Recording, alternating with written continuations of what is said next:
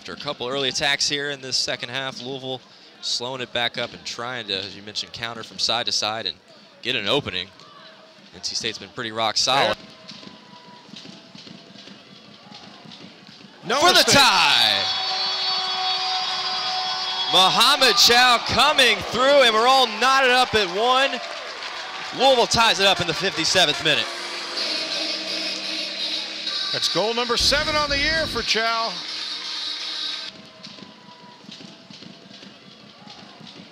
No for the tie. Mohamed Thiaw coming through, and we're all knotted up at one. Louisville ties it up in the 57th minute. That's goal number seven on the year for Thiaw.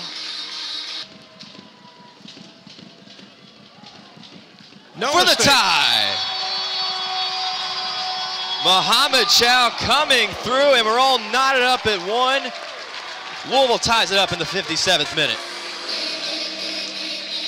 That's goal number seven on the year for Thiaw. Android playing it up to Kubel. Nice the ball. swing. Here's Thiaw. Puts it up and in! The second time today, Thiaw comes through, and the Cardinals are on top.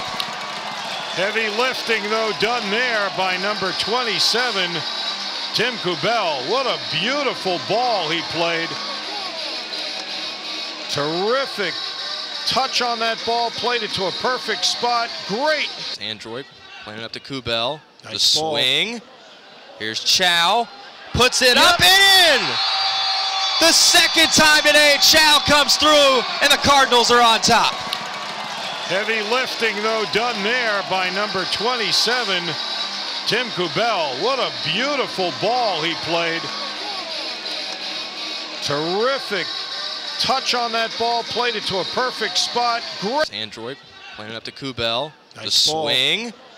Here's Thiaw. Puts it up and in! The second time today, Thiaw comes through, and the Cardinals are on top. Heavy lifting, though, done there by number 27, Tim Kubel. What a beautiful ball he played. Terrific touch on that ball, played it to a perfect spot. Great. Up on the inside, tried to get through, but can't make it happen as Sparks knocked around and good defensive stop from Louisville. Boy, that is exactly what Ken Lowell was talking about. That was really a beautiful bit of attack by NC State. Uh, They played long ball. They